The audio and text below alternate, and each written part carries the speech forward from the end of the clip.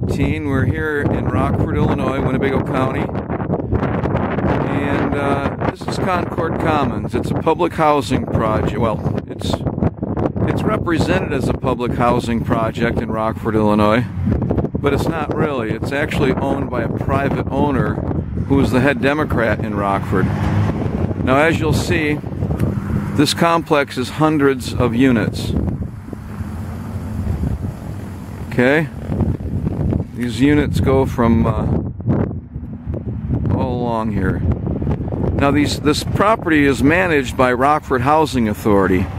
Once again, the owner, the top Democrat here in town, was the chairman of Rockford Housing Authority. So not only was he the private owner of a public housing project, he was the top Democrat.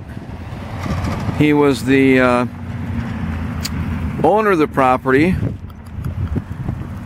and he was the chairman of the company that managed it, which is Rockford Housing Authority. Now, if you know how the Democrats work in Illinois, on election day, you'll have vans and school buses lined up out here to take everybody to go vote. Because, quite frankly, this is what's in store for the rest of America. Under the UN plan and the New World Order, the plans are to see this. This there, there's a perfect. There's a perfect example right there of what kind of people you got living here. This is this is what is planned for the rest of America. You've got just absolute desolation. Look at this. Look at this. Look at this landscape. All right. This is what America will look like if the New World Order gets their way. And as we've learned, today is February 3rd. As we learned yesterday, the FBI has been complicit with this group of criminals who's been running America for the past, at least since they killed John F. Kennedy. And they pretty much were running things before that. But since then, they've had absolute control of this country. So I've gotten wise to what's going on in America because in 1978 I was lured into a real estate deal in downtown Rockford by the owner of this property, the top Democrat in town. There'd been a murder at the property, and it had sat had sat uh, unable to sell it. It was on the market. They couldn't sell it, and so one of my church friends lured me and my brother into buying it. Well, we found out there was a murder there the year before we bought it, and it looked like that uh, this guy that top Democrat that owns this property. He was a top attorney in town too, and an alderman with the city of Rockford. His son is currently the city attorney for the city of Rockford. The guy that owned this property, the top Democrat, was also the campaign manager for the next three mayors. McNamara, John McNamara, 1981 to 1989. Box from 1989 to 1997. And then Doug Scott after that until 2005. So, Tom Meyer was the top Democrat here in town. He lured me into a real estate scam downtown for some clients who owned a property where there had been a murder. And it looks like the murder was probably committed by one of the owners of the property. And uh, I was lured in to kind of cover the tracks to sign on to the deed. So, this Tom Meyer character, he lured me in with a church member in 1978. That church member quit a month after I signed on to the property. Within six months, he had another agent of his who was a good friend of mine from high school. This good friend of mine from high school is named Bruno. His dad worked for Rockford Housing Authority for Tom Meyer. This Doug Bruno sent me a letter and promised to take care of the property while I was on my Mormon mission if I just made him my partner. So I made him my partner. And a couple months later, the city of Rockford condemned my property for no reason after we'd spent about $15,000 on improvements in plumbing and electrical. We went to Tom Meyer and asked him what to do. He said you can't fight City Hall, even though he was City Hall. Well, since then, I learned I better become a journalist and figure out what's going on here in Rockford. And so, since then, I helped start a newspaper called the Rock River Times. And in 25 years, actually in 1996, worked as a journalist for 25 years. In 1996, we discovered that the cocaine from Little Rock, Arkansas, and the murder of the two boys on the tracks, which the Wall Street Journal called the most famous murder mystery in America, was coming to Rockford, Illinois. The, cur- the cocaine courier that witnessed the murder of Kevin Ives and Don Henry in Saline County, where the country road met the railroad tracks, they stumbled on the CIA cocaine drops. And the guys that were picking up the cocaine were the Saline County prosecutor, allegedly, and two Arkansas state troopers, according to the courier who drove the cocaine to Rockford, Illinois. That murder mystery has never been solved yet. And in that time, I've been targeted by these people, by this cartel, by Tom Meyer, by the top Democrats. And as you'll know and have learned in the uh, FBI memo, what this group of people do is they pr- they're protected by the FBI because this all boils down to money. When you follow the money trail, it's all about the money. This Concord Commons here is where the political money comes from for all the dirty votes. Like I say, they line up the buses here on election day. And on election day, all these people are at the mercy of their landlord, the dirty top Democrat in town, Tom Meyer. Tom Meyer died in 2014. I won't say bless his soul. I don't think he had one. But what I found out in the past six months is that the person who owns my house was a partner of Tom Meyer. And now here's how that went. In 2002, the real estate partner that Tom Meyer set me up with in 1979, who then ended up getting my building condemned, got picketed by the labor union, who my partner Bruno's dad was the treasurer of. See, it's a, it's a cozy little system they got here, and it's all about the money. This is where all the money goes through. It's going to be used against the people here in town. It has been for 40 years. 40 years these guys have been running the show, and they're still in charge. Tom Meyer's son is the campaign manager to the current mayor of Rockford, Tom McNamara. Tom McNamara is named after Tom Meyer.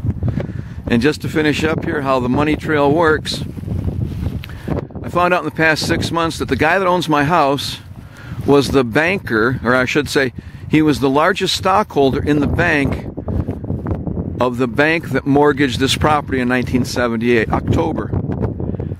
Concord Commons never had to make a mortgage payment. You following me? Concord Commons never had to make a mortgage payment to Amcore Bank. At least up until 2000, when court records and depositions revealed what had happened. In 2000, there was a, there was a lawsuit where Concord Commons was sued because of a girl that had a pot of hot oil tip over on her. The attorney that sued Concord Commons, that sued Tom Meyer, ended up being my attorney in a lawsuit brought on by Tom Meyer's agent, Doug Bruno, in 2002. Larry Morrissey was that attorney. Larry Morrissey took my case in 2002. He fixed my case. He withheld the evidence, missed the uh, missed the 213 disclosure deadline, which left me without evidence to prove up my case. In 2006, they ended up stealing half a million dollars from me, this. The agents of Tom Meyer, a judge, an attorney who were who were law partners, Brian Larkin and Ron Perello, and then when Larry Morrissey became became mayor, he turned me over to another attorney who ended up quitting a month before trial, and that's when I found out I had no evidence. So the dirty deeds that are done in this town are for a purpose. They're to keep the lid on the filthy people that are running Winnebago County, Rockford, Illinois. And as we've just found out, the FBI, how and how, and how it protected the Clinton family, and how it, how it tried to uh, tried to destroy Donald Trump, tried to frame him, who's the president of the United States right now, tried to frame the president of the United States. Do you see how little chance I had of, of fighting these guys here? I had very little chance of fighting them here because they have absolute control. In fact, in 2002, when I was sued by Doug Bruno, an agent of Tom Meyer, I went to the FBI because at that point I knew I was being defrauded. Okay, I'd, I'd only been paid back the $50,000 of the properties that we own. We own three properties together, and they made three quarters of a million dollars in 25 years. I was only paid back the $50,000 which I invested by in 1983. I was the sole investor of our three properties. So that's why they took me to court in 2002 and ended up stealing all the profit from the 25 years which I was trying to recover in my counterclaim from Larry Morrissey that he filed. And when Larry Morrissey filed my counterclaim. He did a great job, except then he he did a secret thing on me. He filed another one secretively, which took off the jury demand and changed everything so that I didn't get the jury that I that I that I asked for. So when his people then asked me later, after the whole thing was over, they ended up stealing two of my properties, ended up stealing half a million dollars from me. Larry Morrissey's assistant calls me for his father and tells me, "Hey, hey, we want to, we want, we want the rest of your property, man." That happened about three, four times until finally I told them, "I no longer wish to participate in your fraud," and I never got another call back. So there are ways out of this. I luckily got one on that because I wasn't going to give them any more. I wasn't going to give them any more money for what they had done to me.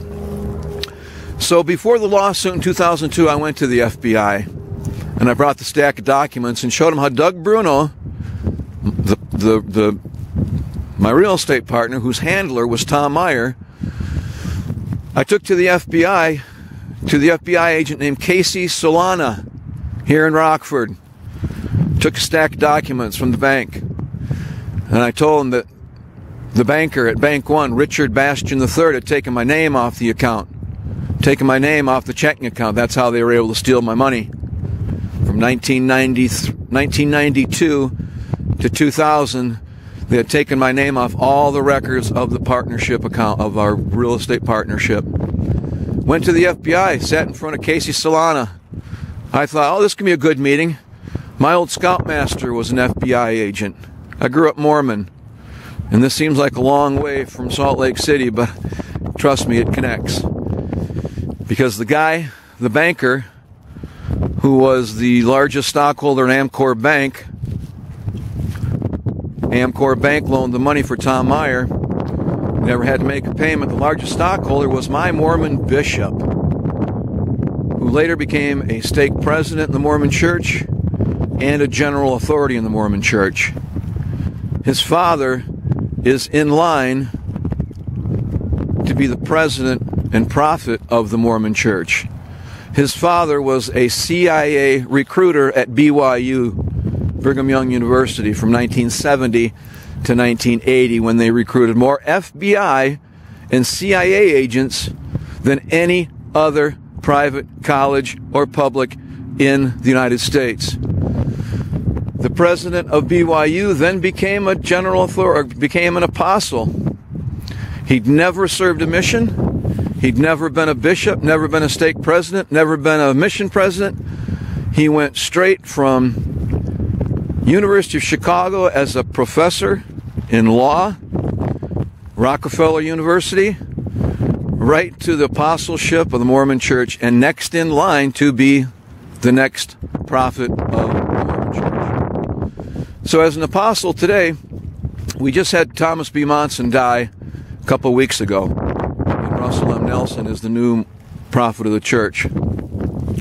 But here's the catch people don't know that the corporate structure in the church puts the president as the sole beneficiary of the assets of the church. Right now, as the Mormon church sits, there is the possibility that if, these, that if this father-in-law of the owner, the former owner of Concord, of the former owner of Amcore Bank that financed Concord Commons, the largest cocaine outlet in Winnebago County for 40 years, if this man gets hold of the presidency of the Mormon Church, he can sign over the assets of the billion dollars of the Mormon assets all across the country, can sign it all over to the New World Order, and the CIA, and Joseph Smith's work will all be in vain. Joseph Smith was the founder of Mormonism. He, he translated a book called the Book of Mormon. That Book of Mormon has one message, which is the the most predominant theme of the whole book, which is satanic secret combinations or conspiracies in the last days would attempt to take over America and the world. And they would do it through theft, deception, and what the Book of Mormon calls Gadianton robbers. These thieves and Satanists that Joseph Smith identified in 1830, right, or should say 1829 when the book was first finished. That book foretold that these satanic secret conspirators would infiltrate government and his own church. I have been targeted by the son in law of the next in line for the head of the Mormon church who I believe is there to destroy the good people, the good Christians of the Mormon church. And I say this is a long way from Salt Lake City, but not that far from the history of the church, because the founder of Winnebago County was Stephen Mack. Stephen Mack was Joseph Smith's uncle. Joseph Smith's mother was Lucy Mack Smith. Her brother was Stephen Mack. Stephen Mack was a fur trader in the early 1800s, came here and founded Macktown, which is up by Rockton, Illinois.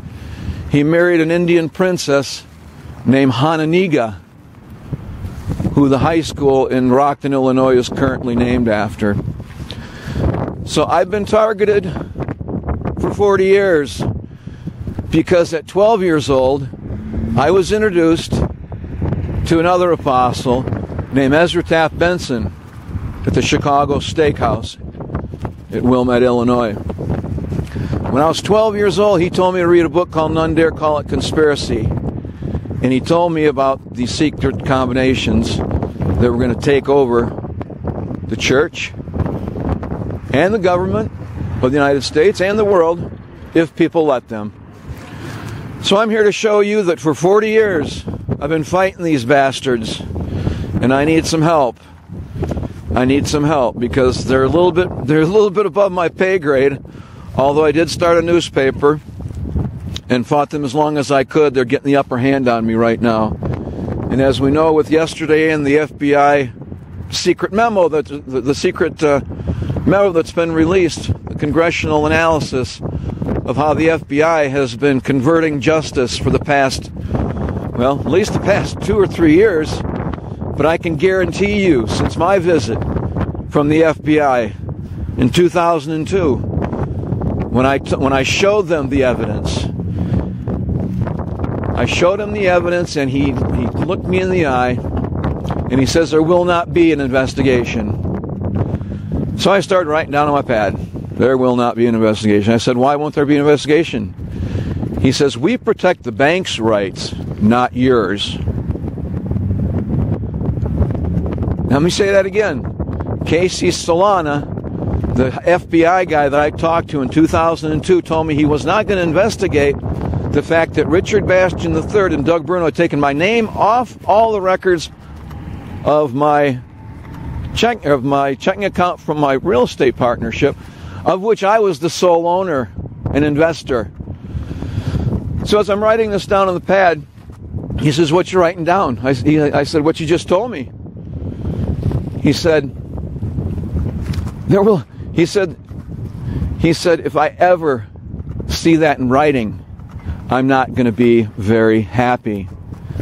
So not only, not only would there not be an investigation to protect the criminals here involved in stealing half a million dollars from me and two of my properties, but he protects the bank's rights to, to steal from me.